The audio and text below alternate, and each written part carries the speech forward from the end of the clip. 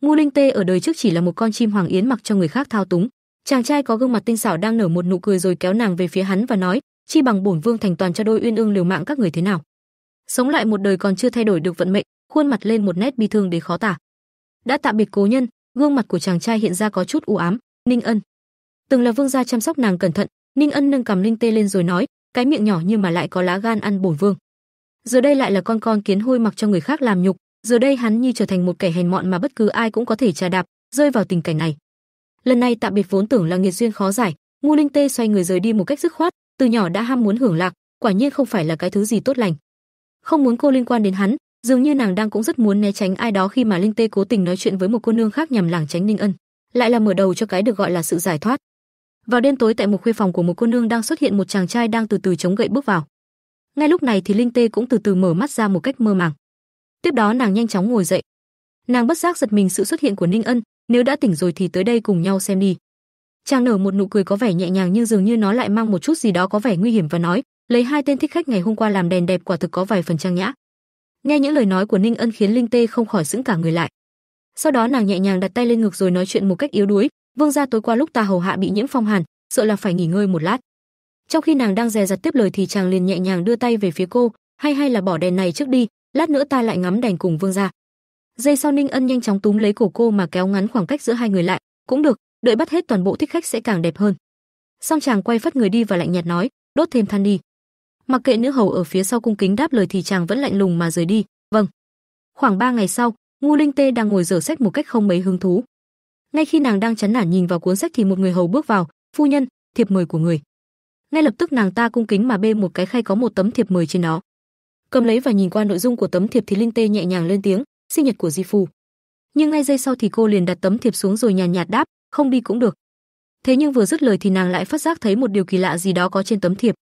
Nàng nhanh chóng mở tung tấm thiệp ra để xem xét nó một cách kỹ càng. Nhìn vào dòng chữ có trong tấm thiệp làm cho Linh Tê không khỏi suy nghĩ, chữ của Sầm ca ca.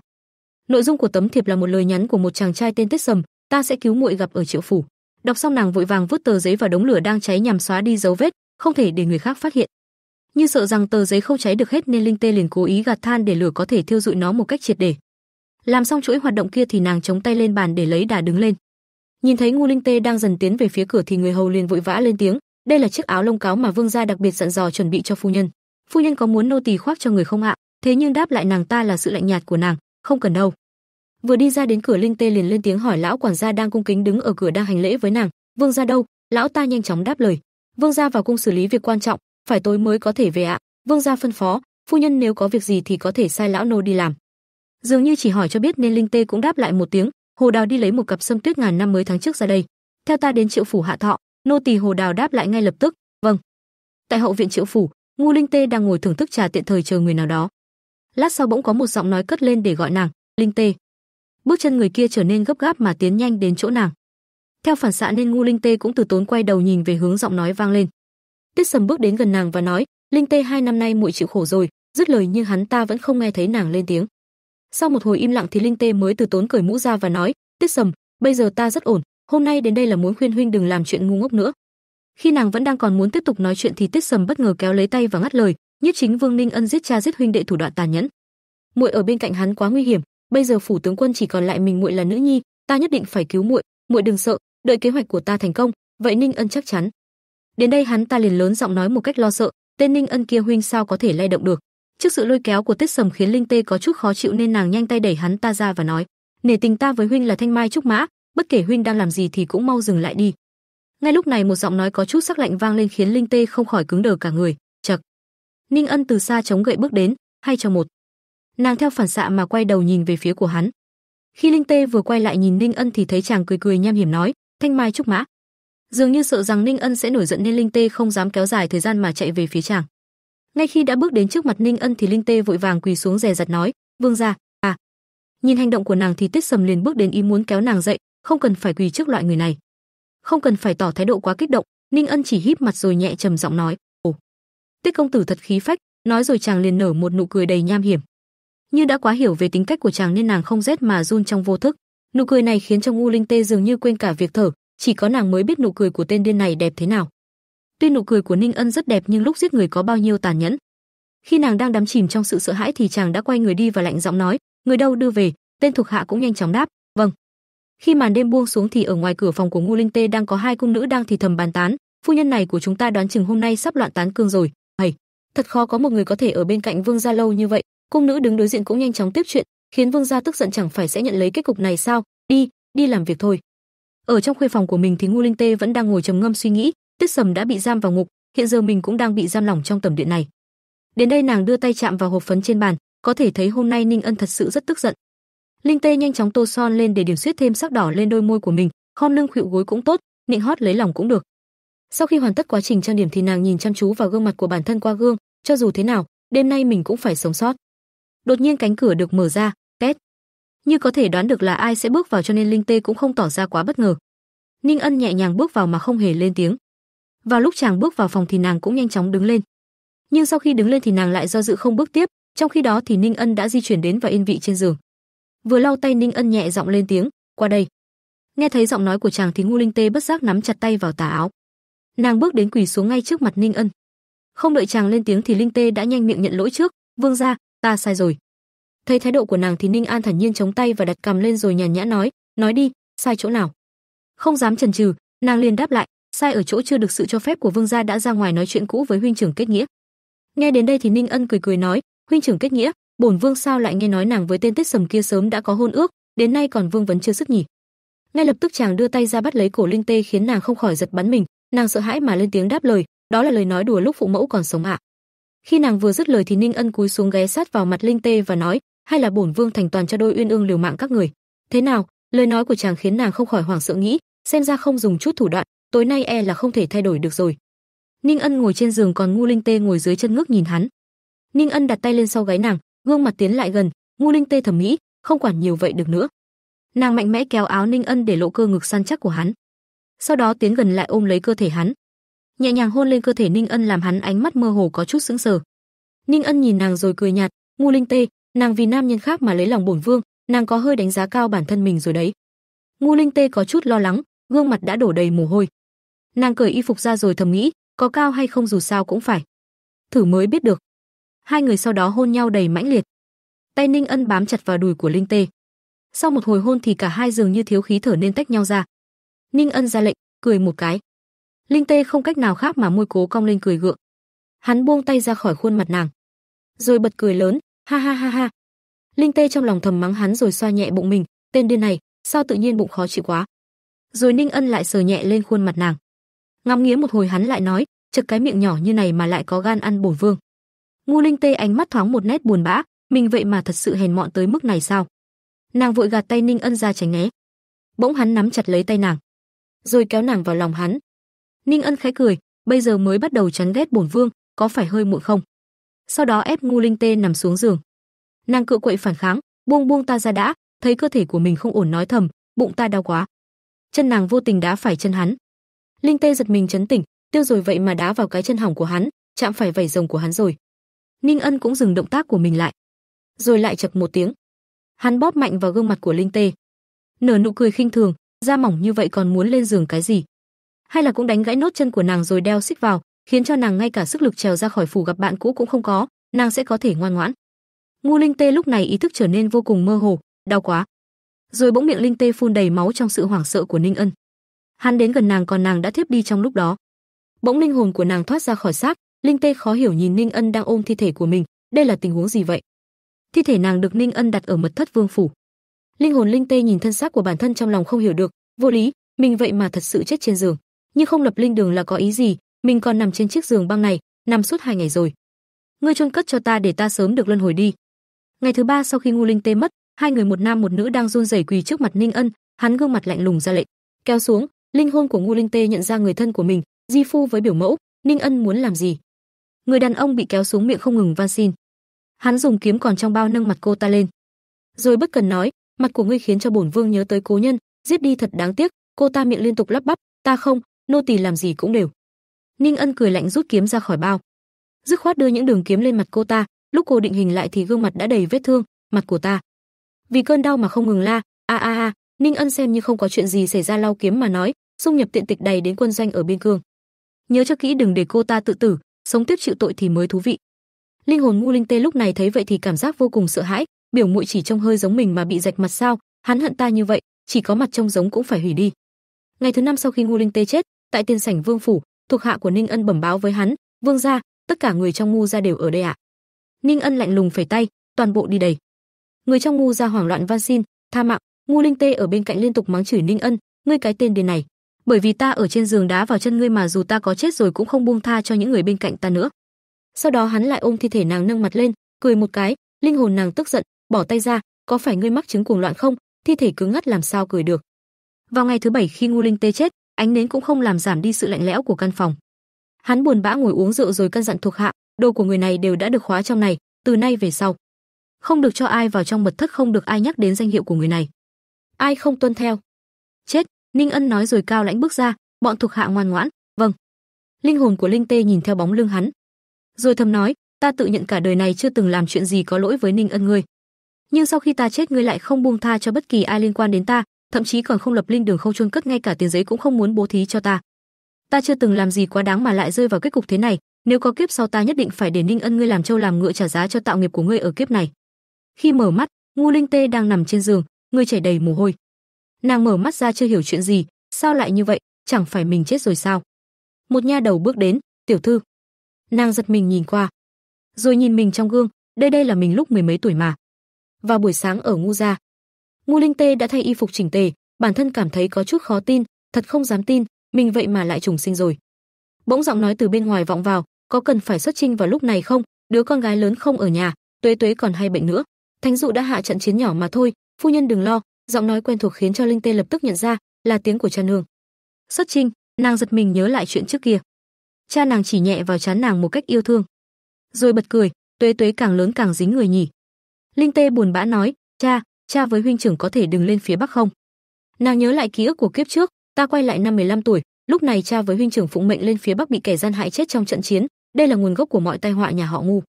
Cha Linh Tê hiền từ nói, không được con gái ngoan. Ngu Linh Tê cố nói cho ông biết rằng đây là một cái bẫy, trong triều có không ít võ tướng nhưng hoàng thượng lại gọi cha với huynh trưởng. Nhỡ như bị lừa thì sao ạ? Chỉ là một cuộc bạo loạn nhỏ có cần phải hai cha con ngu ra cùng đi không ạ? Ông xoa đầu Linh Tê rồi lại nói, tuổi con còn nhỏ nên không hiểu để cho quốc thái dân an, cha là võ tướng há có thể làm kẻ tham sống sợ chết. Ánh mắt nàng bỗng rủ xuống buồn bã, đúng vậy, cha luôn coi việc bảo vệ bách tính thiên hạ là trách nhiệm của mình sao mà vì vài câu của trẻ nhỏ mà từ bỏ được. Ngu Linh Tê kính cẩn nói, nữ nhi biết rồi ạ, vậy cha bảo trọng. Bữa tối tại ngu phủ. Ngu Linh Tê ngồi chống cằm buồn bã, nếu đã không thể thuyết phục được cha, vậy thì chỉ có thể nghĩ cách khác ngăn cản huynh trưởng rơi vào chồng của kẻ gian. Nếu là Ninh Ân thì nhất định sẽ có trăm ngàn thủ đoạn. Bất giác nàng lại nghĩ đến hắn vội tự dùng tay tát vào mặt mình. Phi Phi, sao lại nhớ tới tên điên đó rồi, cứ từ từ ăn mơ chấm muối ớt, nô tỳ từ ngoài bước vào liền nhắc nhở nàng, tiểu thư ăn ít mơ chấm muối ớt thôi, lát nữa còn phải uống thuốc đó ạ. Nghe vậy Linh Tê chợt tỉnh ra tiếc nuối không ăn tiếp nữa, suýt chút nữa quên mất 15 tuổi mình còn là một con ma bệnh. Đợi đã, thuốc. Cửa sổ phòng nàng mở ra, ánh nắng nhẹ nhàng dọi vào phòng nàng. Một khay đầy thuốc nam được đặt trên bàn. ngô Linh Tê ngồi trên giường cầm trang giấy vừa đọc vừa ngẫm nghĩ, kiếp trước Ninh Ân đưa mình đi thử một loại thuốc uống xong khiến toàn thân mất hết sức lực rồi hôn mê mấy ngày sau có thể tỉnh lại cũng không gây hại cho thân thể chỉ là. Đường Bất Ly từ ngoài chạy vào lo lắng hỏi, "Tuế Tuế ta nghe nói cô lại ốm, đỡ hơn chưa? Cô còn phải uống nhiều thuốc như vậy sao?" Ngu Linh Tê nhìn Đường Bất Ly đầy quý mến. Ali tuy đã quen với việc được người trong nhà chiều chuộng nhưng cô ấy vẫn luôn đối xử rất tốt với mình, cũng là người duy nhất viết thư khuyên nhủ mình ở kiếp trước. Đường Bất Ly lấy tờ giấy trên tay Ngu Linh Tê xem nàng bất lực nói, "Ta cần phương thuốc này để cứu người, nhưng có một loại cửu u hương tìm khắp kinh thành cũng không thấy." Cô ta nháy mắt nói, "Có một nơi chắc sẽ có đó, chỉ là..." Nàng mong chờ hỏi, nơi nào vậy? Đường Bất Ly lại nói tiếp, chỉ là nơi đó không phải là nơi mà một tiểu cô nương như cô có thể đi. Linh Tê hối thúc, đừng úp mở nữa mau nói đi. Đường Bất Ly ghé sát tay cô nói, dục giới tiên đô, cầu được ước thấy. Dục giới tiên đô, động tiên tiền bên dưới kinh thành Lạc Dương, ánh nắng không thể loạt, mạng người như run rế, một người đàn ông đang đánh đập người, một tên ra mà còn dám chạy, phải dạy dỗ lại. Đường Bất Ly và Ngu Linh Tê bịt mặt đến một sạp nhỏ hỏi, cho hỏi ông có cửu u hương không? Chủ quầy không thèm nhìn lạnh nhạt nói, đây là thuốc cấm, 300 lạng không mặc cả. Đường Bất Ly nổi nóng, thuốc gì mà đắt vậy? Ngô Linh Tê không nghĩ nhiều lập tức đồng ý, thành giao, làm Đường Bất Ly ngơ ngác. Ừ. Nàng đưa tay lấy thuốc. Sau khi lấy được thuốc nàng cần trên đường đi lịch sự cảm ơn Đường Bất Ly, Ali tốt thật. Mượn bạc của cô ngày mai ta sẽ sai người đưa tới phủ của cô. Bất Ly để hai tay ra sau gáy mỉm cười nói, giữa chúng ta mà còn khách sáo cái gì? Linh Tê cười, không sao. Bỗng nhiên một người đụng chúng làm nàng rơi cả túi thuốc. À, thuốc và toa rơi cả ra đất. Bất Ly tức giận, ngươi không có mắt nhìn đường à? Linh Tê nhặt thuốc vội nói, không sao đâu. Nàng bỗng xanh mặt khi nhìn thấy người đụng chúng mình. Thầm gọi trong lòng, Ninh Ân. Hắn đã nhìn thấy toa thuốc mà Linh Tê đã nhặt. Ngô Linh Tê từ từ đứng lên tự trấn an bản thân mình, phải bình tĩnh Ngô Linh Tê, cho dù người này có thực sự là Ninh Ân thì hắn cũng không nhận ra mình. Đường Bất Ly quan tâm hỏi nàng, không sao chứ Linh Tê có bị thương chỗ nào không? Linh Tê mỉm cười giấu thuốc vào giấy phía sau lưng, không sao, vẫn tự nhủ thầm với chính mình, không có gì phải sợ cả. Ninh Ân vẫn chú ý đến hai người từ nãy đến giờ. Hắn đến một quầy đưa thứ gì đó cho trưởng quầy. Trưởng quầy cười nói, có thể đi lại nhanh như vậy đúng là mệnh cứng. Hắn không nói gì mà quay mặt rời đi. Một lần nữa lại đi qua bọn người của Linh Tê, nàng không kiềm được mà nhìn hắn. Thầm nghĩ, chân trái ổn mà, thực sự là hắn sao? Ngu Linh Tê ngồi một mình trong phòng suy nghĩ, bây giờ chỉ còn lại một chuyện. Kiếp trước mình chết không rõ ràng, sau đó viết lên tờ giấy, nguyên nhân cái chết. Linh Tê nghĩ thầm, nếu không tra rõ kẻ đứng sau, sợ rằng tới lúc đó ăn ngủ không yên. Lúc đó sự sững sờ trong mắt Ninh Ân không phải giả, nếu không phải hắn, cái tên đầu tiên ngu Linh Tê viết ra đó là Ninh Ân. Linh Tê nghĩ lại khung cảnh mình và hắn gần gũi nhau. Sau đó cười khổ nghĩ, hai năm sớm chiều bên nhau, hắn có trăm nghìn cách giết mình, cần gì hạ độc mình ở trên giường chứ? Giọng nói nhỏ nhẹ, có điều cho dù không phải là hắn. Càng nghĩ tâm trạng nàng càng trùng xuống. Ngu Linh Tê thở dài nói, đoán chắc cũng có liên quan tới hắn. Lúc này đã khuya nên nàng có chút mệt mỏi. Chìm vào một không gian khác Ngu Linh Tê tự hỏi, đây là đâu, là mơ sao? Trong không gian tưởng như là mơ đó nàng thấy một người đàn ông đang bị một tên khác đánh, nhìn kỹ nàng nhận ra, đó là Ninh Ân. Nàng hốt hoảng chạy tới hét lên, dừng tay. Nhưng khi Ngu Linh Tê nhìn kỹ vào ánh mắt Ninh Ân lại nói, khoan đã ánh mắt này. Không ánh mắt này, không phải Ninh Ân mình nhìn thấy hôm đó, trong nháy mắt người xưa cảnh cũ, gặp lại trong mơ. Chuyển sang một khung cảnh khác có một nam nhân xuất hiện. Đây là hắn của kiếp trước. Một tên quan lại bị thị vệ cản ở ngoài cửa hét lên, "Bệ hạ bệ hạ cứu ta." Trong phòng lúc này Ninh Ân đang ngồi với hoàng đế, hoàng đế nói, "Binh bộ thượng thư, ngự sử đại phu và cả thừa tướng Tiết đại nhân này đều, hoàng thúc còn có yêu cầu gì?" Ngô Linh Tê nghe hắn nói như vậy suy nghĩ, hắn vậy mà đã giết nhiều người như vậy, tên này sao điên tới mức lợi hại hơn rồi. Lúc này nàng giống như một linh hồn đứng bên cạnh hắn quan sát, còn Ninh Ân nhíu mày dường như đang cảm thấy có gì đó không đúng. Không biết tên hoàng đến kia đã nói gì chọc giận Ninh Ân, hắn bị Ninh Ân đạp cho một phát và chửi, "Lôi thôi." Sau cú đạp đó tâm trạng Ninh Ân dường như tốt lên. Đến nỗi Ngô Linh Tê cũng cảm thấy thế nghĩ, nhìn ngươi hình như rất vui, nhưng ngươi lại không vui. Thấy cảm xúc của hắn không rõ vui buồn như vậy nàng tự hỏi, tại sao chứ? Đi theo Ninh Ân nàng thấy hắn tới một nhà giam, nàng tự hỏi, Ninh Ân hắn tới trong nhà giam này làm cái gì? Lúc này có một người đàn ông bị treo trên cột, nhìn kỹ dung nhan nàng nhận ra đó là Tiết Sầm. Tiết Sầm đang trong tình trạng bị đánh rất thê thảm, sức sống chẳng còn mấy phần nhưng vẫn kiên cường nói, ta cho dù chết cũng sẽ không tha cho ngươi. Ninh Ân bình tĩnh đáp trả, bản vương sẽ không giết ngươi. Dù sao nếu Tiết công tử chết, thế gian này không còn ai nhớ tới nữa. Ánh mắt Ninh Ân lúc này thâm sâu khó lường. Nghe hắn nói thế Ngu Linh Tê đột nhiên cảm thấy, hắn lẽ nào có thể nhìn thấy mình ư? Dường như để kiểm chứng xem Ninh Ân có thật sự nhìn thấy mình không, nàng bay đến trước mắt hắn nhưng chỉ nghe thấy hắn ra lệnh, cho thêm tích công tử 50 gậy. Tâm trạng Ninh Ân khi ra lệnh xong không có chút gì là vui vẻ mà thoáng hiện chút buồn sầu. Có lẽ sợ rằng Tiết Sầm không chịu nổi Ninh Ân can dặn, hắn không chịu nổi thì dưỡng thương khỏi rồi đánh tiếp, đừng để hắn chết. Thanh Tiêu nghe theo dặn dò của Ninh Ân mà nói, "Vâng." Lúc này Hồ Đào đột nhiên xuất hiện gọi, "Tiểu thư, tiểu thư, tiểu thư không hay rồi." Ngu Linh Tê từ trong mộng giật mình tỉnh dậy. Sau đó Ngô Linh Tê theo Hồ Đào sang phòng cha, lúc này phòng cha nàng đang có ngự y tới khám, mẫu thân nàng vừa khóc vừa nói, nửa đêm cha và huynh trưởng của con đột nhiên được đưa trở về, nói là đột nhiên phát bệnh nguy cấp, tới nay vẫn hôn mê không tỉnh. Ngô Linh Tê nghe tin này thì lo lắng không nguôi. Nàng hỏi thái y, thái y có khám ra bệnh gì không? Ông ta đáp, lão phu hành y mấy chục năm nhưng cũng nhất thời bó tay hết cách. Ngô phu nhân đừng hoảng, hai vị tướng quân thân thể khỏe mạnh, nhất định có thể hóa nguy thành an, lão nô về cung phụng mệnh trước. Hai mẹ con nhà Ngô Linh Tê nghe thái y nói thế trong lòng càng bồn chồn lo lắng hơn nói, công công đi thong thả. Sau khi quan sát vị công công nãy giờ Ngu Linh Tê nghĩ, nhìn kiểu này vị công công này không có nghi ngờ gì. Sau khi tiễn công công về nàng ôm mẹ an ủi, mẹ mẹ về phòng nghỉ ngơi một lát đi, ở đây để con lo liệu.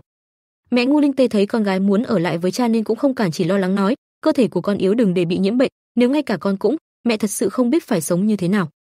Thấy mẹ lo lắng cho mình như vậy nàng mặc dù không đành lòng nhưng cũng đành chịu nghĩ, kế hoạch này chỉ có thể lừa người thân trước, mới có thể khiến hoàng đế cũng tin. Nàng để Hồ Đào đỡ mẹ về phòng nghỉ. Còn mình thì dõi theo nói, mẹ đừng trách con. Linh Tê quay lại giường cha nằm và nhìn với ánh mắt lo lắng. Nàng nắm tay cha nghĩ, kiếp này, con gái nhất định bảo vệ mọi người. Trong phòng ngủ ngu Linh Tê, nàng nằm gục xuống bàn liên tục nói, đừng, đừng, vẻ mặt vô cùng hoảng loạn. Trong mộng ngu Linh Tê đang mơ thấy cảnh mình và Ninh Ân. Nàng đang cố chống cự không để cho hắn có cơ hội áp sát mình hơn nữa. Trong đó còn có cảnh nàng và hắn quần áo không chỉnh tề đứng đối diện nhau, Ninh Ân nâng cầm nàng lên còn nàng thì dường như đang phải chịu đựng điều gì đó. Lúc này tiếng của Hồ Đào vang lên, "Tiểu thư, tiểu thư." Nhờ có tiếng gọi đó mà Ngu Linh Tê tỉnh lại, nàng toát mồ hôi lạnh. Thở phào trong lòng, may chỉ là mơ, Hồ Đào đứng bên cạnh nhìn thấy tiểu thư nhà mình xoa đầu liền nói, "Tiểu thư, ta bưng canh an thần tới cho người nhé." Ngô Linh Tê vẫn chìm đắm trong những suy nghĩ ngổn ngang, không biết là lần thứ mấy mơ thấy hắn rồi, âm hồn bất tán. Phải nghĩ cách tháo bỏ nút thắt này, xả cục tức này. Tại tiên đô của dục giới Ngô Linh Tê đang ngồi trong xe ngựa hỏi Thanh Tiêu, "Chuyện giao cho ngươi, cha tới đâu rồi?" Thanh Tiêu đi bên cạnh đáp, "Thưa tiểu thư." Thanh Tiêu nghe ngóng được thiếu niên số hiệu 27 mặc đồ đen đeo mặt nạ đó, mấy ngày trước lên sân bị trọng thương, luôn dưỡng thương ở trong hang ổ. Nghe đến người ở trong hang ổ nàng bất ngờ kéo màn ra hỏi lại xem mình có nghe nhầm không, hang ổ. Thanh Tiêu trả lời, do nô lệ là những kẻ ti tiện, người đời đều coi bọn họ như chó sai hoặc súc sinh, vì thế chỗ ở của bọn họ gọi là hang ổ. Hắn ra lệnh dừng xe lại giải thích, "Tiểu thư, hang ổ ở đằng trước, vì để cho an toàn, xe ngựa không thể đi về phía trước được nữa." Nàng vén màn chuẩn bị xuống xe. Khi thấy khung cảnh bên ngoài Linh Tê bất ngờ mở to mắt, "Đây, là nơi quái quỷ gì?" Lúc này trong thôn có mấy tên giống như giang hồ nhìn ra ngoài, nàng so sánh khung cảnh ở đây với phố dân lưu lạc. Cho dù là phố dân lưu lạc tệ nhất ở thành Tây của Lạc Dương cũng không u ám mục nát như nơi này. Thấy Ninh Ân từ đằng xa đang chuẩn bị đi tới thì Thanh Tiêu nhắc nhở nàng, "Tiểu thư im lặng, người tới rồi." Trạng thái Ninh Ân lúc này vô cùng lạc lõng, buồn bã đơn côi. Ngô Linh Tê ngồi trong xe ngựa nhìn ra bên ngoài nghĩ, gần thêm chút nữa thì kêu người trói ngươi lại. Ninh Ân càng lúc càng đến gần phía nàng hơn. Chợt hắn thấy có gì đó không ổn. Sau đó hắn liền quay đầu chạy, Ngô Linh Tê thấy hắn như vậy ngỡ ngàng tự hỏi, hắn phát hiện ra rồi sao? Nàng ra lệnh cho Thanh Tiêu đuổi theo, nhưng bị thuộc hạ ngăn cản, "Tiểu thư khoan đã." Lúc này có mấy tên áo đen võ công cao cường đang đuổi theo Ninh Ân khiến hắn phải cố gắng chạy thật nhanh. Thanh Tiêu giải thích, người hắn trốn tránh không phải là chúng ta, điều này càng làm cho Ngô Linh Tê lo lắng hơn, chuyện gì thế, còn có người muốn giết Ninh Ân sao? Có lẽ sức lực không bằng những tên áo đen kia nên chạy được một đoạn Ninh Ân đã bị chúng đạp cho. Thanh Tiêu cùng Ngô Linh Tê đứng đằng xa chứng kiến được cảnh này căn dặn, có nguy hiểm, tiểu thư đừng lại gần. Ninh Ân bị chúng đánh đến chảy máu, còn bị đè xuống đất. Những tên áo đen bịt mặt kia không tiếp tục đánh Ninh Ân nữa mà nói, đúng rồi chủ tử nói, không vội giết chết ngươi, Ninh Ân lúc này đã bị thương vô cùng nặng thở cũng khó khăn. Chúng không giết chết Ninh Ân nhưng cũng không dừng hành hạ, Ninh Ân bị chúng ấn xuống dưới đất đạp lên đầu không cho cử động. Càng lúc thì máu hắn càng chảy ra nhiều hơn. Những tên áo đen vừa hành hạ vừa đe dọa, chủ tử còn nói, nếu ngươi giỏi chạy như vậy thì đánh gãy chân của ngươi trước, đường xuống suối vàng, để ngươi bỏ đi cho hết. Ninh Ân lúc này vô cùng đau khổ nhưng vẫn phải nằm im. Tên áo đen cầm đầu giơ chùy sắt lên định đánh gãy chân Ninh Ân. Ngô Linh Tê đứng đằng xa hãi hùng, chân của hắn bị gãy như vậy sao? Trong mắt cô là cảnh tên áo đen cầm chùy sắt chuẩn bị đánh xuống chân Ninh Ân. Thấy chân Ninh Ân sắp bị phế tới nơi, Ngô Linh Tê lo lắng lớn tiếng ra lệnh, "Thanh Tiêu các ngươi còn ngây ra làm cái gì?" Tên áo đen thấy có tiếng người thì dừng tay hỏi, "Ai?" Lúc này một thanh kiếm phi tới đánh rơi chùy sắt của tên áo đen kia. Thanh Tiêu cùng thuộc hạ lúc này cũng chạy tới chuẩn bị đánh nhau với những tên áo đen. Ngô Linh Tê đứng cạnh Ninh Ân vẫn còn nằm dưới đất ra lệnh, chế phục bọn họ. Hắn lúc này mới ngẩng mặt lên nhìn. Nhìn thật kỹ nàng rồi nói thầm trong lòng, là nàng ấy. Đám nô bọc chạy đến giơ kiếm lên và hung hãn lên tiếng, "Cút!" Ngay khi Ngô Linh Tê ngồi xuống trước mặt Ninh Ân thì nghe thấy tên nô bộc nói, "Tiểu thư, đã đánh cho tên hung đồ đó chạy rồi." Nghe vậy nàng nhanh chóng đáp lời, "Hắn chết rồi sao?" Tên đó liền ngồi xuống sờ vào cổ của chàng và nói, "Thư tiểu thư, còn sống." Nghe thấy người vẫn còn sống thì lúc này Linh Tê mới nhẹ nhõm thở hắt ra một hơi. Sau nàng lại không khỏi ngẫm nghĩ, tốt cái gì mà tốt, ngươi đã quên mình tới làm gì rồi sao? Nghĩ rồi ánh mắt nàng nhìn về phía Ninh Ân một cách xa xăm. Quan sát gương mặt của chàng lại làm cho Linh Tê có chút khó hiểu, tên điên tự cao tự đại của kiếp trước, lúc này chẳng qua chỉ giống con chó thất bại, nửa sống nửa chết nằm ở trước mặt mình. Lúc này động thủ, hắn ngay cả sức lật người tránh cũng không có, vừa nghĩ nàng vừa vô thức mà nắm chặt lấy sợi dây trên tay. Ngay lúc này Ninh Ân cũng vừa tỉnh lại. Đôi mắt sâu thẳm của chàng vẫn đang nhìn chằm chằm vào Ngô Linh Tê một cách thâm tình. Có lẽ ánh mắt ấy đã khiến cho nàng không đủ can đảm để xuống tay mà chỉ có thể im lặng siết chặt sợi dây vào lòng. Giây sau Linh Tê dứt khoát đứng dậy xoay người bước đi, "Thanh Tiêu, chúng ta đi." Ngay cả khi đã ngồi trên xe ngựa thì nàng vẫn không khỏi chán nản vì sự mềm lòng của mình, thật là bị ma nhập ma. Rõ ràng đã hạ quyết tâm đi đánh người lại biến thành cứu người, ngay lúc này Thanh Tiêu đứng ngoài gõ vào xe gọi nàng, "Tiểu thư, thiếu niên đó luôn đi theo đằng sau chúng ta." Lời nói cửa hắn khiến Ngu Linh Tê hết sức hoang mang mà ngó đầu ra nhìn. Đúng như lời Thanh Tiêu nói thì Ninh Ân quả thật đang chật vật dùng hết sức lực của mình để đi theo phía sau xe ngựa của nàng. Nhìn thấy cảnh này thì Thanh Tiêu không nhịn được mà lên tiếng, "Tiểu thư có cần thuộc hạ?" Không để cho hắn kịp dứt lời thì Ngô Linh Tê đã nhẹ giọng lên tiếng, cho xe ngựa chạy nhanh một chút, trong lòng nàng đang không ngừng suy nghĩ, mình không muốn dây dưa với hắn nữa. Lại qua mấy ngày sau tại chùa Từ Ân, trong điện thờ thần Phật thì có một giọng nói nhẹ nhàng vang lên, "Ma cầu nhân duyên, để Bồ Tát ban cho tuế tuế của chúng ta một lang quân như ý." Nói hết lời thành tâm đó thì giọng nói kia của người đàn ông lại nhỏ nhẹ nói vào tai Linh Tế, "Tốt nhất là họ Tiết." Nghe thấy lời nói này của ca ca mình thì nàng liền quay sang cười cười nói, "Nếu là nhân duyên vẫn là ca ca cần hơn, dù sao huynh đã có tuổi, còn được cha mẹ định hôn." Hy vọng tẩu tẩu là một kiều nữ lang có tri thức hiếu lễ nghĩa. Lời nói này của nàng đã khiến cho chàng trai ngay lập tức tỏ vẻ đau đớn khi bị chính muội muội của mình chê hắn đã già. Sau khi cầu nguyện xong xuôi thì hai huynh muội họ vừa từ từ rời đi vừa trò chuyện, người đàn ông nói: muội từ khi nào mồm miệng sắc bén như thế? Linh Tê cũng thuận theo mà đáp, ai bảo huynh nói linh tinh, huynh cẩn thận sau khi mẹ biết. Khi đã tiến đến gần xe ngựa thì nàng không khỏi lộ rõ vẻ bất ngờ, đây là chiếc xe ngựa ở trước cửa chỗ đấu thú hôm đó. Ngay khi ngu Linh Tê đang ngây người suy ngẫm thì ca ca của nàng bất ngờ lên tiếng, nhìn cái gì thế? Nàng nhanh chóng ổn định lại tinh thần và nói, không có gì, đi thôi. Cùng lúc đó trước cửa của một căn biệt phủ ngay khi có một người đàn ông béo lùn bước xuống xe ngựa để đi về phía cửa thì tiếng đàn có âm sắc tuyệt hảo vang lên. Ai dô nghe tiếng đàn này, tiểu nương tử đợi không kịp rồi à? Ninh Trường Thụy vừa bước vào cửa đã nhanh chóng nói, mới một lát không gặp. Ngay khi lão ta ngước đầu lên nhìn vào trong sân thì thấy nương tử nhà lão ta đang bị một ép đánh đàn bằng cách kề dao vào cổ nàng ta, xung quanh xác chết rải rác khắp cả sân. Ninh Ân thấy nàng ta khóc lóc sợ hãi mà quên cả đàn thì liền nhẹ giọng nói, tiếp tục gảy đàn, hôm nay thời tiết rất đẹp để nghe đàn. Đến đây chàng mới từ từ ngẩng đầu lên nhìn về phía cửa và nở một nụ cười như có như không nói, không phải sao, nhị đường huynh. Lúc này Tây Quận Vương mới tỏ vẻ nham hiểm nói, vốn muốn để ngươi chết ở chỗ đấu thú, ai ngờ huynh năm lần bảy lượt đều thoát, bây giờ còn dám tới phủ của bản vương tìm chết, người đâu? Tiếp đó lão ta giọng nói đầy khiêu khích nói, thật là thiên đường có lối ngươi không đi, địa ngục không cửa ngươi cứ chui vào, mặc kệ những lời nói của lão ta thì Ninh Ân vẫn rất ung dung mà nghe đàn. Rồi bỗng lúc này một làn gió ùa đến. Gương mặt của Ninh Ân không lộ rõ biểu cảm. Ngay lập tức cánh cửa của cổng lớn đóng lại làm cả không gian vang lên một tiếng hết sức chói tai, rầm. Quay trở lại với Ngô Linh Tê thì nàng đang ngồi ngẩn ngơ mà ngắm nhìn phong cảnh qua cửa sổ. Khi nàng đang chìm đắm trong cảm xúc của riêng mình thì ca ca nàng liền lên tiếng, sao tâm thần bất an vậy? Linh Tê cũng nhẹ giọng đáp, không có chỉ là cảm thấy may mà huynh và cha đã tỉnh lại. Vừa dứt lời thì hắn ta lập tức xoa đầu nàng và nói, đừng lo lắng, đều đã qua rồi. Vậy nên vừa rồi muội có ước có một lang quân tốt không? Nghe vậy thì Linh Tê tỏ vẻ bất lực nói, không có, đã nói rồi, muội chỉ là thực hiện tâm nguyện cho mẹ, muội. Đang nói thì nàng bỗng im lặng và chuyển sang thầm nghĩ, chỉ hy vọng đời này, mong mọi sự tiếc nuối đều có thể viên mãn. Ninh Ân ngồi xuống đám người đeo mặt nạ cũng nằm chết đầy trên nền đất. Hắn lạnh lùng bước đi, mười mấy người ngươi phái đi giết ta, đều nằm ở đây cả rồi, nói rồi hắn quăng những lệnh bài về phía Ninh Trường Thụy. Ông ta hoảng loạn nhìn những lệnh bài rơi đầy trên đất. Hắn bước đến gần ông ta lạnh lùng thách thức, ngươi đếm đi. Ninh Trường Thụy tức giận run rẩy, ngươi là giả vờ. Ninh Ân mỉm cười, tại sao? Tại sao thân thủ của ta lại tốt như vậy, trước kia còn bị ngươi giày vò thảm như vậy à? Hơ hơ, Ninh Ân cười lớn còn Ninh Trường Thụy lúc này vì quá sợ hãi mà ngã xuống đất. Hắn ánh mắt thâm hiểm, không che giấu thực lực. Lấy bản thân làm mồi. Sao có thể một mẻ bắt hết mấy con cá lớn các ngươi chứ? Thấy bàn tay Ninh Ân đặt lên mặt mình Ninh Trường Thụy càng thêm hoảng loạn, không không phải ta. Ninh Ân lạnh nhạt nói, ta đương nhiên biết chủ mưu phía sau không phải ngươi, thứ ngu xuẩn y con lợn lại hay gây hấn như ngươi chỉ xứng làm con cờ cho người khác thôi. Nhưng tối nay ta chỉ là đã muốn giết ngươi mà thôi. Ninh Trường Thụy xanh mặt sợ hãi van xin, nếu ngươi đã biết ta không phải chủ mưu thì thì tha cho ta đi, ta có thể coi như ngươi chưa từng tới.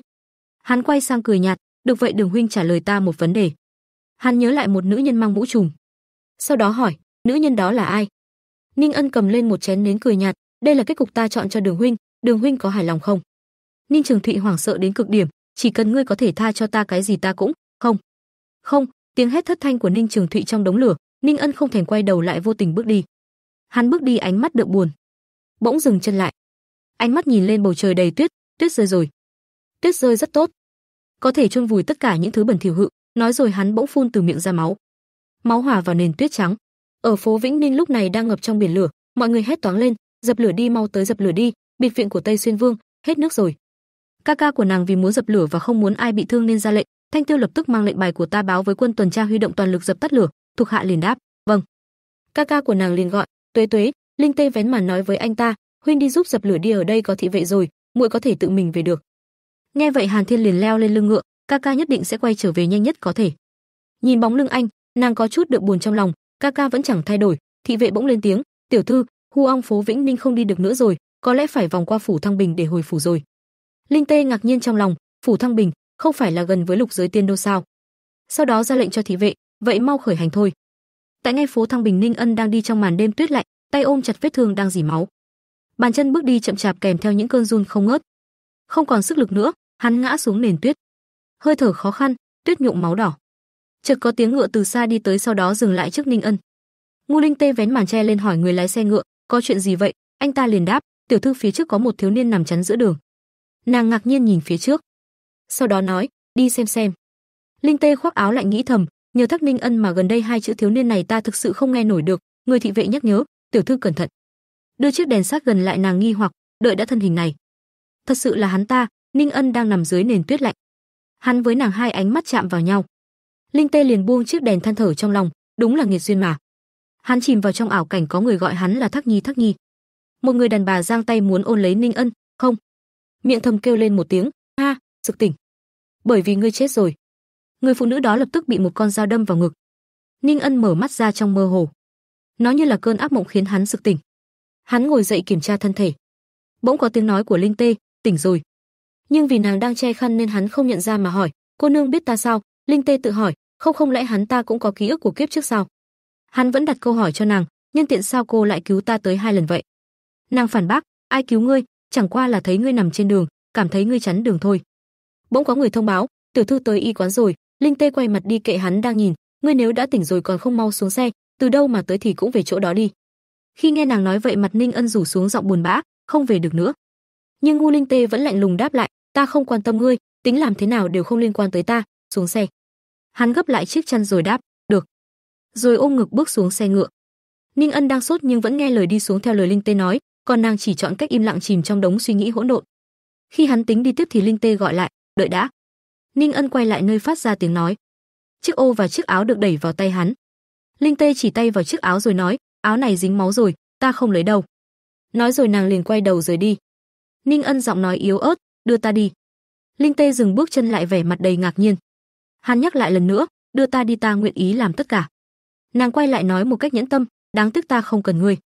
Tuy là nghe nàng nói vậy nhưng hắn vẫn lẽo đẽo đi theo chiếc xe ngựa, thị vệ liền nói với Linh Tê, người đó vẫn đi theo, có lẽ nào là muốn tống tiền.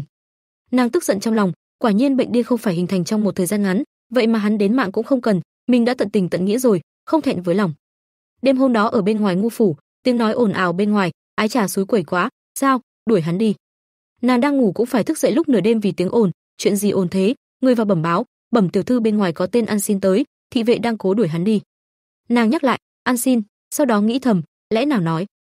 Ngay lập tức Linh Tê chạy vội ra ngoài mặc có tiếng kêu của người hầu, "Tiểu thư, tiểu thư." Khi ra tới cổng, bước chân nàng dần chậm lại. Hắn vẫn ngồi đó đợi nàng, có người lên tiếng, "Tiểu thư nô tài gọi thế nào hắn cũng không tỉnh, chắc là đông chết rồi, thật đen đủi." Ninh Ân vẫn ngồi đó không chút động tĩnh. Linh Tê tiến lại gần đưa tay lên mũi hắn để thử. Bỗng nhiên Ninh Ân mở mắt nhìn Linh Tê khiến nàng giật mình rụt tay lại.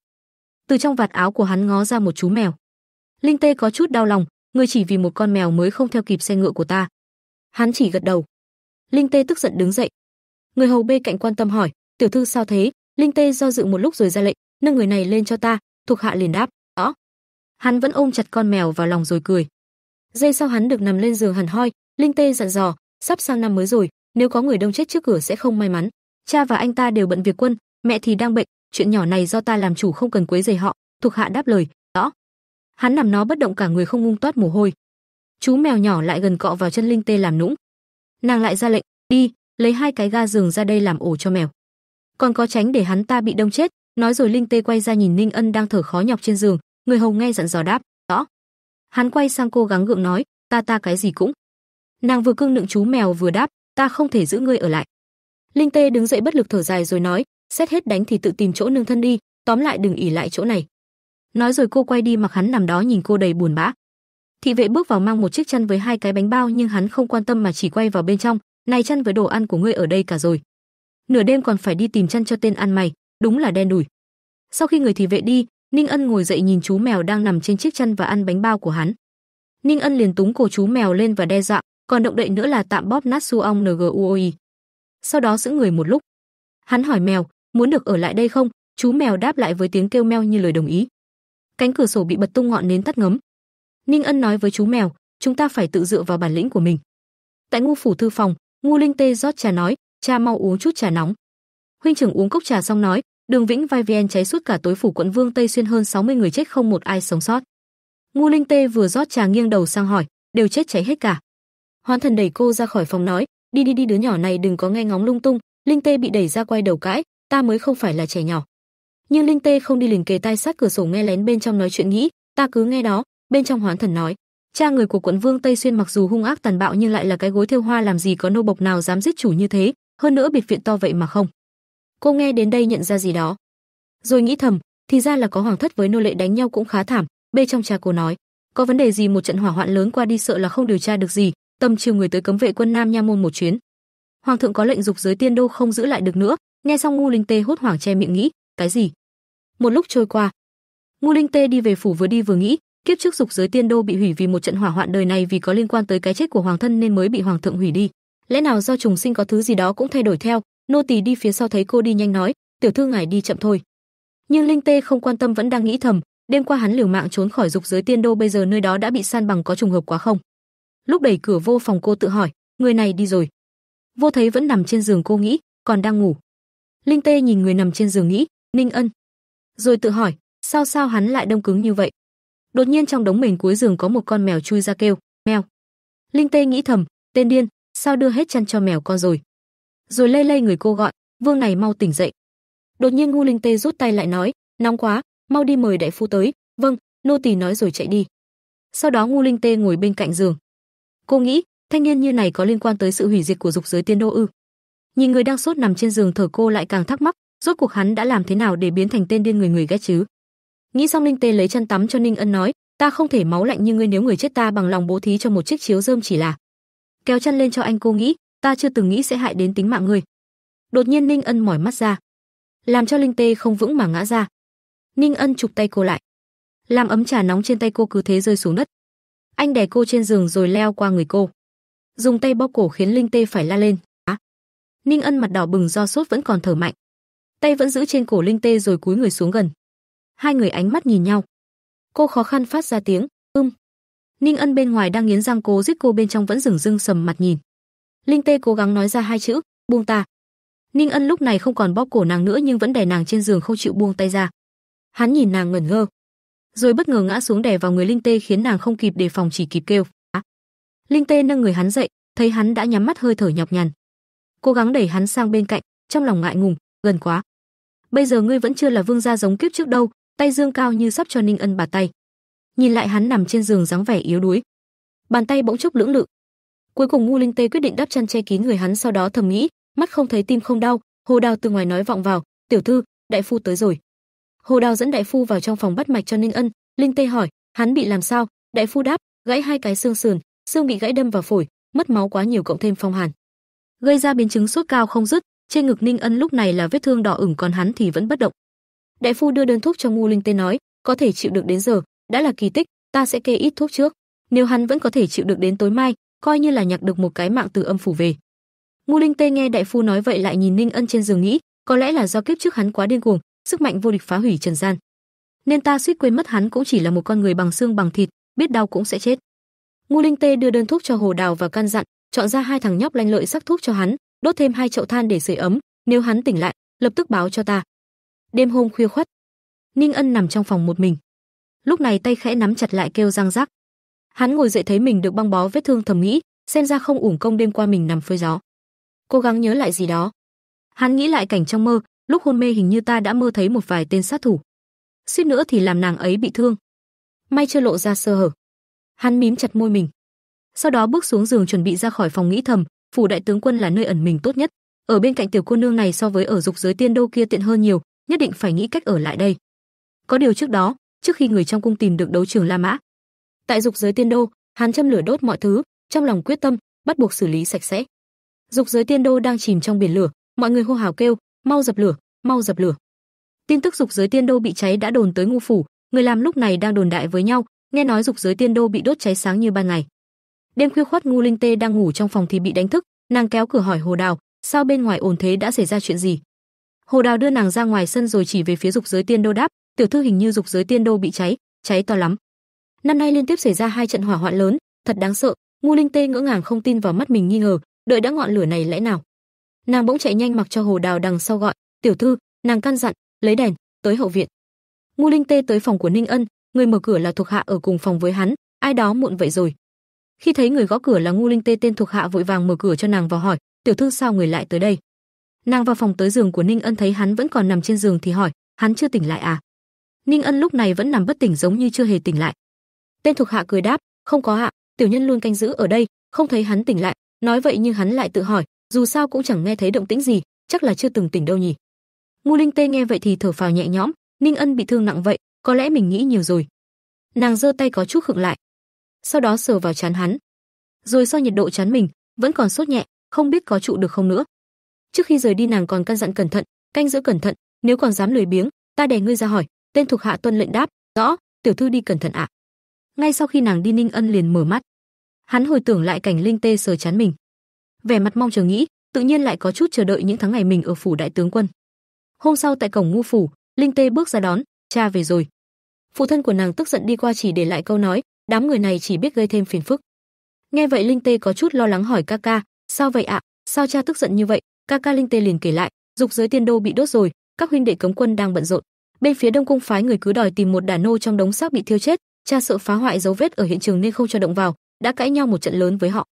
Linh Tê ăn dương ngồi nghe họ kể chuyện tức giận hỏi, Đông cung nhắm vào gì chứ?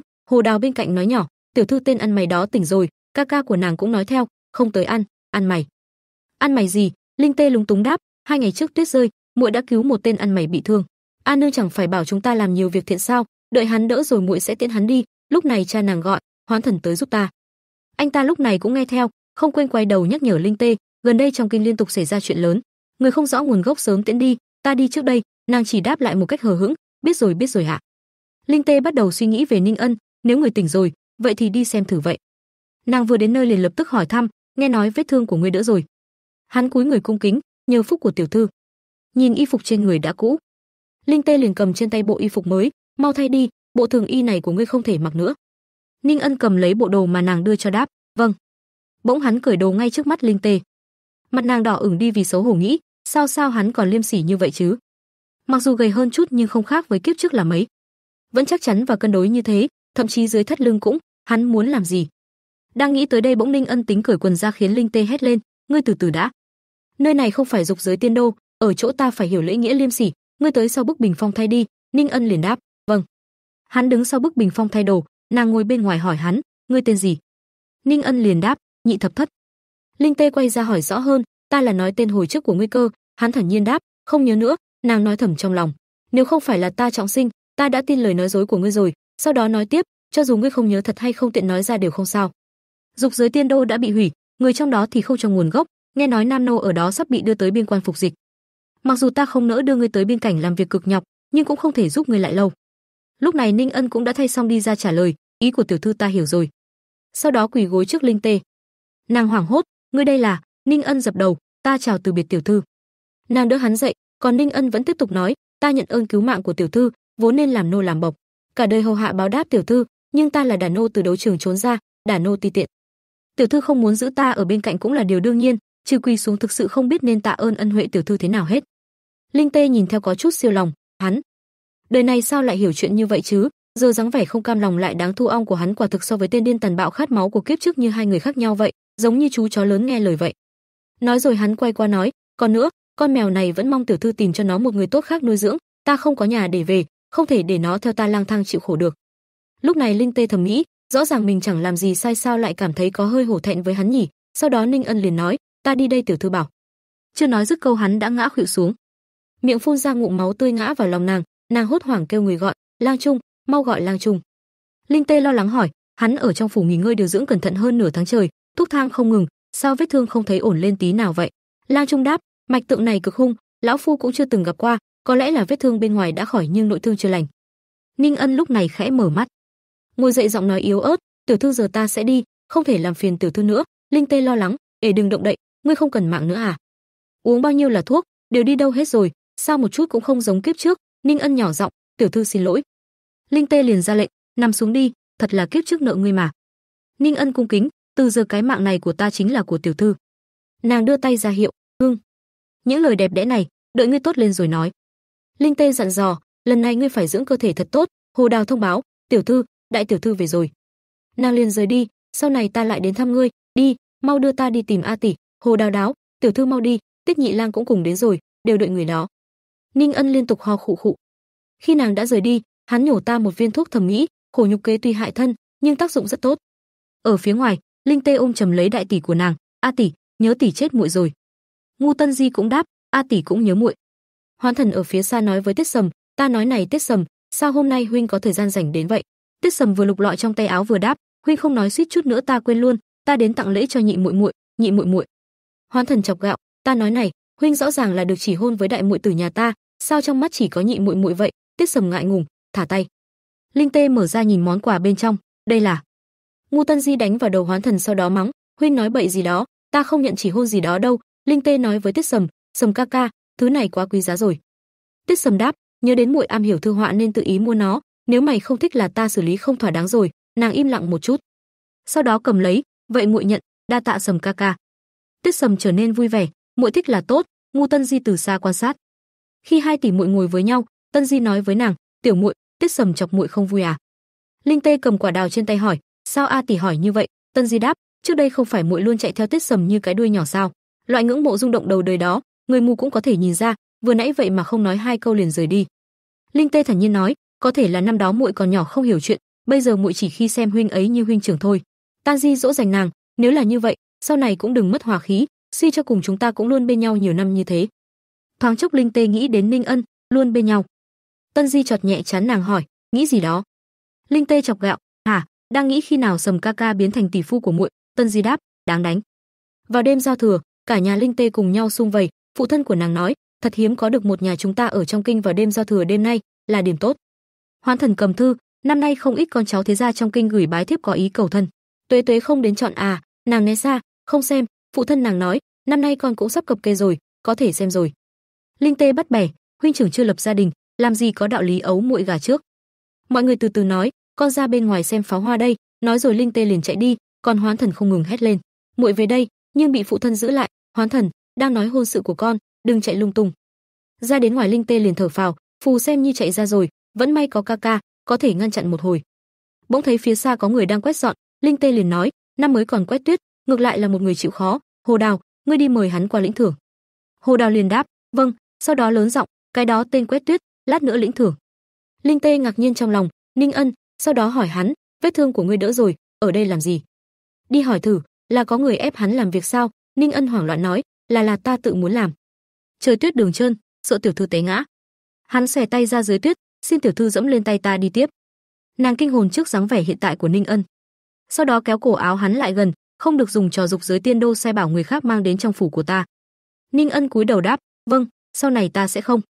Linh Tê định quay đi nhưng có chút không nỡ trong lòng, rốt cuộc hắn ở bên ngoài rét bao lâu rồi, sao lông mi đều là xương tuyết vậy. Sau đó nói, mà thôi, hôm nay là giao thừa, Hồ Đào, đi lấy ít rượu đồ tô và đồ ăn nóng qua đây, Hồ Đào liền đáp, vâng. Ninh Ân cầm lấy đèn trên tay Linh Tê. Sau đó nói, thật ra ta chỉ là muốn báo đáp tiểu thư, khiến tiểu thư vui vẻ. Hồ Đào liền đi đến, tiểu thư, đồ ăn đưa đến rồi, Linh Tê vừa đi vừa nghĩ thầm, đôi khi mình nghĩ, nếu như Ninh Ân chưa từng trải qua những chuyện đó, liệu sẽ trở nên khác không? sau đó ra lệnh, "Được rồi, hôm nay là năm mới ngươi lui xuống nghỉ đi." Hồ Đào vui vẻ đáp, "Cảm ơn tiểu thư." Sau đó ngoắt tay Ninh Ân, "Qua đây ngồi." Hắn có chút sững sờ, "Đây." Nàng liền kéo gai hắn. "Bảo ngươi ngồi thì ngồi đi." Linh Tê nghĩ thầm trong lòng, suy cho cùng ta và ngươi từng sớm chiều bên nhau, kiếp này ngươi chưa từng tổn thương ta. Hắn mơ màng đáp, "Vâng." Dưới bầu trời rực rỡ sắc màu pháo hoa, hai người ngồi đối diện nhau, Linh Tê thầm nghĩ, sao ta có thể để cố nhân cô đơn trong ngày lễ được cơ chứ? Nàng nhẹ nhàng cho thứ bột màu đen vào ly nước, sau đó đưa cho Ninh Ân, đã cho thêm ít bột tiêu rồi đó, uống đi cho đỡ lạnh. Ngô Linh Tê nhìn hắn thầm hoài nghi, để xem tính cách ngươi có thật sự khác với kiếp trước hay không. Ninh Ân một hơi uống hết ly nước trong sự ngạc nhiên của nàng, uống hết rồi ư, mình nhớ hắn không thể ăn cay mà. Khuôn mặt hắn dần đỏ lên khẽ khụ khụ, cảm ơn tiểu thư. Ngô Linh Tê vội vàng giải thích, trong rượu đồ tô có hoa tiêu, không ăn cay được thì uống ít thôi, Ninh Ân đáp lại, ta có thể. Ý tốt của tiểu thư sao ta có thể từ chối được. Ngô Linh Tê ngại ngùng quay mặt đi, ai có ý tốt cơ chứ, Nàng âm thầm suy nghĩ, kiếp này Ninh Ân bị gì vậy, đổi tính rồi à? Ninh Ân chợt hóa thành một chú chó nhỏ đang làm nũng, tiểu thư giúp ta dưỡng thương, cho ta y phục mới, còn tự mình rót rượu cho ta. Ánh mắt hắn tràn ngập niềm cảm kích, tiểu thư chính là người đối xử với ta tốt nhất ở trên thế gian này. Ngô Linh Tê xúc động trong lòng, kiếp trước không nghe được lời nào tốt cả, kiếp này cuối cùng cũng được nghe bù lại rồi. Ninh Ân chợt băn khoăn, chỉ là không biết làm sao mới có thể báo đáp tiểu thư. Ngô Linh Tê căm hận nghĩ lại, hừ, kiếp trước ngươi không hề như vậy, một ninh ân tàn bạo của kiếp trước hiện lên trong khoảnh khắc, cười lên. Nàng bỗng cười nham hiểm, chọc hắn một chút đi. Ngu Linh Tê chỉ vào Ninh Ân, vậy cười chút đi. Hắn nhẹ nhàng nở nụ cười đáp lại, được. Ngu Linh Tê đỏ mặt sững sờ nghĩ thầm, hóa ra hắn cũng có thể nở nụ cười hồn nhiên vô hại như này, không hề tàn khốc cũng chẳng nhuốm mùi máu tanh. Nếu nụ cười này là thật, vậy giữa hai ta liệu có phải còn con đường khác để đi không? Nàng nghiêng mặt nhìn hắn, ta đổi ý rồi. Ăn hết chỗ đồ ăn này thì về phòng ngủ sớm đi, đừng quét tuyết ở sân nữa. Ninh Ân nhìn nàng, "Tiểu thư." Ngu Linh Tê đặt tay lên vai hắn, nói không chừng sau này sẽ có lúc ta cần dùng tới ngươi đó. Ninh Ân vui mừng, ý của tiểu thư là? Ngô Linh Tê mỉm cười dịu dàng, "Ừm ta có thể giữ ngươi lại, hy vọng ngươi không khiến ta thất vọng." Ninh Ân quả quyết, "Vâng, ta có thể vì tiểu thư mà làm mọi thứ." Ngô Linh Tê dần rời đi, "Được rồi, ta về phòng trước đây, bên ngoài lạnh, ngươi cũng sớm về phòng đi." Ninh Ân đáp lại, "Cảm ơn tiểu thư." Hắn chậm chậm ngồi xuống, "Chỉ ở đây thì sao mà đủ chứ?" Mặt Ninh Ân hiện lên vẻ nham hiểm, "Còn phải lấy được lòng tin của ngươi, quang minh chính đại tạo ra một bàn cờ mới." Ngu Linh Tê dặn dò nha hoàn, đổi cho hắn phòng sạch sẽ chút, không cho hắn đến tiền viện, cũng không cho hắn làm việc nặng nhọc bẩn thỉu, nàng dặn dò thêm, nếu cha huynh có hỏi thì nói là ở lại chăm sóc mèo cho ta. Nha hoàn băn khoăn, tiểu thư, hắn chỉ là một kẻ ăn xin, người cho hắn vào phủ như này liệu có thích hợp không? Nàng vừa mài mục vừa trầm tư suy nghĩ, mặc dù đã hóa giải được nguy cơ bắc trinh của cha huynh, nhưng vẫn chưa biết hung thủ là ai. Thân phận của người này không phải là thứ mà mình có thể la chuyển được, cách tốt nhất bây giờ là âm thầm giúp đỡ Ninh Ân lúc hắn khó khăn. Đợi sau khi hắn thống nhất thiên hạ thì sẽ trở thành toàn núi vững chắc để ngu ra dựa vào. Chỉ là hắn lấy oán báo ân, hại người khác, cũng có thể hại chính mình, nếu lỡ bất cẩn, ta sẽ mất tất cả. Ngô Linh Tê khẽ nhắm mắt thở dài và đáp lại nha hoàn, "Không sao, chỉ là thêm một hạ nhân mà thôi." Nữ nha hoàn trả lời, "Vâng, à đúng rồi tiểu thư, y phục mùa xuân của người có rồi, có muốn thử không? Mặc vào hội hai ngày tới." Người lái xe ngựa thông báo, "Đã đến trường đua ngựa rồi, mời tiểu thư xuống xe." Ngô Linh Tê vội vàng kéo tấm màn che, "Ta phải nhanh chút, Ali đợi ta chắc gấp lắm rồi đây." Hạ nhân đưa tay đỡ nàng, "Tiểu thư chậm thôi." Ngu Linh Tê đáp, "Yên tâm ta sẽ cẩn thận." Nàng chợt kêu lên, "À." Bỗng một cánh tay vững chắc đưa ra, "Tiểu thư cẩn thận." Ngu Linh Tê hé mắt, một vòng tay cứng cáp đỡ lấy eo nàng. Ninh Ân và Ngu Linh Tê bốn mắt nhìn nhau, nàng sững sờ, "Ngươi?" Ninh Ân lo lắng nhìn nàng, Ngu Linh Tê nói tiếp, "Sao ngươi lại tới đây?" Ngu Linh Tê thắc mắc hỏi hắn, "Ta nhớ trong danh sách xuất phát không có ngươi." "Sao?" Ninh Ân ngắt ngang lời nàng, "Đêm qua người chăm sóc ngựa bị đau bụng do ăn đồ hỏng, quản gia không tìm được người khác nên gọi ta tới giúp cho ngựa." Ngu Linh Tê hiểu ra đáp, "Vậy à?" Ninh Ân mỉm cười dịu dàng nói, "Nếu tiểu thư không sao, ta đi đỗ xe ngựa trước." Nàng im lặng nghĩ thầm, Hắn lang bạt những năm này, nhất định rèn luyện được sự cảnh giác và nhạy cảm vượt xa người thường. Ngay cả một chút xa cách trong lòng mình cũng có thể phát giác, còn có thể nắm bắt mọi cơ hội để lấy lòng. Sau đó chỉ tay chọc vào má hắn, "Ngươi, sau này đừng ép mình cười nữa." Ninh Ân bồn chồn hỏi, "Tiểu thư, không thích sao?" Linh Tê suy nghĩ đáp, "Cũng không phải." Rồi nàng mỉm cười bảo, nhưng cười không lý do, trông khá ngốc. Khi muốn cười thì cười mới đẹp. Bỗng nhiên tuyết Sầm xuất hiện, hắn vừa thúc ngựa đến chỗ Linh Tê vừa gọi lớn, "Nhị muội muội." Ngu Linh Tê bất ngờ đáp, Sầm ca ca. Thấy tuyết Sầm đến, Ninh Ân im lặng lườm hắn. Ngô Linh Tê hỏi tuyết Sầm, huynh không đi săn cùng mọi người sao? Hắn cười trả lời, ta đang đợi nàng đi chung. Nàng từ chối, Sầm ca ca đi trước đi, Ali vẫn đang đợi ta, ta phải đi tìm cô ấy trước. Hắn nhìn lên mái tóc Linh Tê, ngạc nhiên bảo, châm cài nhị muội muội cài là châm hoa ngọc phỉ thúy mà ta tặng năm ngoái à? Nàng bất giác đưa tay sờ lên cây châm, hỏi thầm trong lòng, cây châm. Tiết Sầm vui vẻ thúc ngựa đi, vừa cười vừa nói, nhị muội muội hiểu tâm ý của ta là đủ rồi, nếu muội đã có hẹn với người khác, vậy ta đi trước. Ngô Linh Tê đưa tay xoa lên trán, bất lực nghĩ thầm, Sầm ca ca tặng ư, cách hai kiếp cũng không nhớ nổi những chuyện này, bây giờ gỡ xuống thì thể hiện rõ ràng quá, bỏ qua. Lát sau, Đường Bất Ly xuất hiện vẫy tay gọi, "Linh Tê ngươi tới rồi." Chợt cô nhận ra sắc mặt khác thường của Ngô Linh Tê, lo lắng hỏi, ấy ngươi sao thế?" Ngu Linh Tê cười xòa đáp, "Không có gì, chúng ta mau cưỡi ngựa đi theo đội ngũ săn bắn đi." Buổi săn bắn diễn ra, đoàn người vội vã phi ngựa giữa cánh rừng, tiếng thúc ngựa vang xa từ phía xen lẫn cùng tiếng reo vui, bắn chúng rồi. Trời đã chuyển tối, lúc này mọi người đã nghỉ chân, Đường Bất Ly than vãn, cưỡi ngựa một ngày, mệt chết đi được. Gần đây có tiếng ai đó bảo, hôm nay tiểu quận vương thu hoạch phong phú quá, đáp lời hắn, Nam Dương tiểu quận vương. Ninh Tử Trạc cầm con thỏ trên tay nói, cầm đi nướng đi, hôm nay chỉ là luyện tay, ngày mai ta nhất định có thể săn thêm mang về. Hắn đáp, tiểu vương anh dũng, vậy bọn ta đợi chúc mừng cho ngài. Ngu Linh Tê từ đằng xa nhìn thấy, thắc mắc hỏi nhỏ, Ali, thiếu niên sách thỏ ở đằng trước là ai? Đường Bất Ly trả lời, Nam Dương tiểu quận vương Ninh Tử Trạch, cháu ruột của thánh thượng hiện nay, sao lại hỏi tới hắn rồi, mau qua ăn thịt. Ngu Linh Tê hiểu ra đáp, à được. Nàng lo lắng cầm dĩa thịt nghĩ thầm, lần này Ninh Ân ra ngoài, không biết thị vệ trong các phủ khác liệu có không thích hắn giống như trước kia không. Nàng gấp thịt vào dĩa, cẩn thận đưa cho người hầu căn dặn, Hồ Đào, cái này đưa riêng cho Ninh, cho tên ăn mày trăm ngựa đó. Hồ Đào đỡ lấy đáp, vâng. Ngu Linh Tê đưa mắt nhìn Ninh Tử Trạc đầy nghi hoặc nghĩ thầm, Ninh Ân, Ninh Tử Trạc, không biết lần này Ninh Ân xuất hiện, có phải thật sự là trùng hợp không? Đường Bất Ly chọc má nàng bất bình nói, "Linh Tê, tuy tiểu quận vương này là hoàng thân nhưng chỉ là một kẻ ăn chơi bị chiều hư, hắn kém xa Tiết Nhị Lang của ngươi, trong các công tử thế gia ở kinh thành cũng chỉ có Tiết Nhị Lang xứng với ngươi." Một thiếu nữ cười bảo, lời này không thể để Triệu Ngọc Minh nghe thấy, nghe nói nàng ta thích Tiết Nhị Lang. Ngô Linh Tê bất ngờ hỏi, "Ngọc Minh biểu tỷ cũng tới rồi sao?" Rồi cô nghĩ thầm, kiếp trước tỷ ta bị rạch mặt, kiếp này mình vẫn chưa từng gặp. Thiếu nữ thở dài chế giễu nói, "Tới rồi, đi theo Tuyết Sầm một ngày, người ta cũng không nhìn nàng ta một cái, đoán chắc lúc này nàng ta đang khóc lóc với nghĩa huynh của nàng ta, ha ha ha. Lúc này trong lều trại, Triệu Ngọc Minh tức giận lật đầu bàn, khóc lóc với Triệu Tu, ngu linh tê, ngu linh tê, trong mắt Tuyết Sầm chỉ có ngu linh tê, cả một ngày cũng chưa từng để ý tới ta. Hôm nay đừng nói tới Tuyết Sầm nữa, những công tử thế gia kia cũng đều khen ngu Linh Tê đẹp như thiên tiên, nói ta không bằng biểu muội. Triệu Tu vỗ vai nàng an ủi, Ngọc Minh đừng nghe bọn họ nói linh tinh. Triệu Ngọc Minh khóc lóc thảm thiết nói, bọn họ nói không sai, mọi người đều thích quý nữ yêu kiều tỏa sáng vạn trượng như biểu muội. Biểu muội còn có cha, huynh trưởng chống lưng, không giống ta đi tới đâu cũng sẽ bị người khác đem ra so sánh chê cười. Triệu Tu trấn an nàng bảo, bọn họ thích ta không thích, muội yên tâm, săn bắn ngày mai, ta nhất định giành lấy hạng nhất chống lưng cho muội. Tới lúc đó, đừng nói ngu ra, ở trong cả bãi săn này, không ai dám khinh thường cười nhạo muội nữa. Đêm khuya, một thanh niên lén lút đến chuồng ngựa, hắn đổ thứ bột trắng đáng ngờ vào đống rơm trong màng ăn, trộn lên rồi bỏ đi. Tình cờ hành động của thanh niên kia đã bị Ninh Ân nhìn thấy, hắn xem xét kỹ đống rơm rồi nghĩ, xem ra không cần mình làm gì thì đã có người không kìm được rồi. Tại trường đua ngựa đường ra, Ninh Ân dắt ngựa cho Ngu Linh Tê, người hầu kính cẩn đưa cô chiếc khăn choàng đỏ bảo, "Tiểu thư, hôm nay gió lớn, mau mặc áo choàng vào đi, đừng để bị đông cứng." Ngu Linh Tê nhìn Ninh Ân nghĩ, ra ngoài mà còn mặc ít vậy.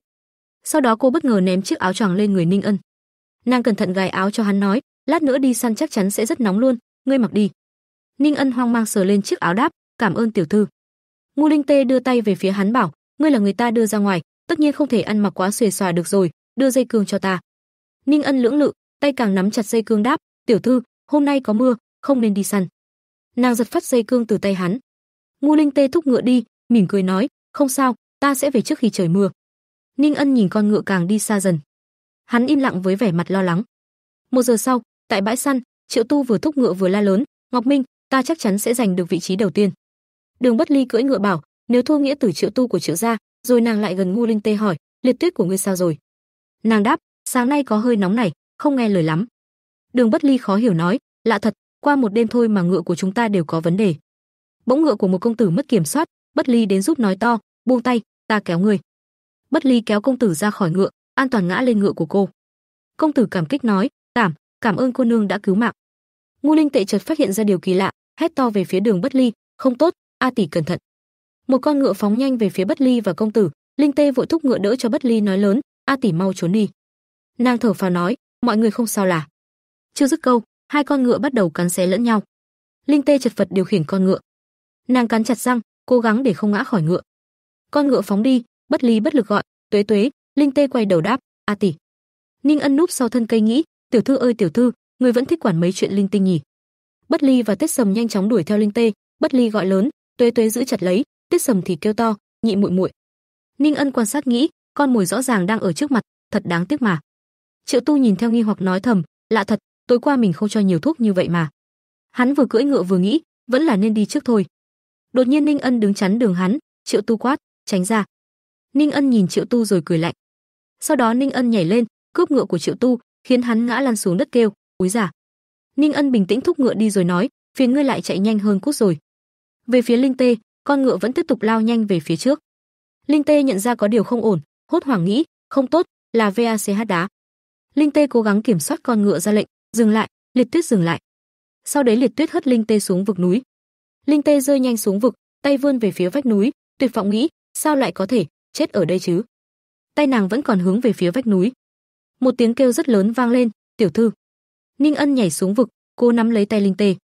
Bắt được tay nàng, hắn ôm nàng vào lòng. Ninh Ân dịu dàng mỉm cười bảo, "Tiểu thư đừng sợ." "Ta đây." Ninh Ân trấn an nàng. Hắn cẩn thận che chắn cho nàng, cả hai vẫn tiếp tục rơi.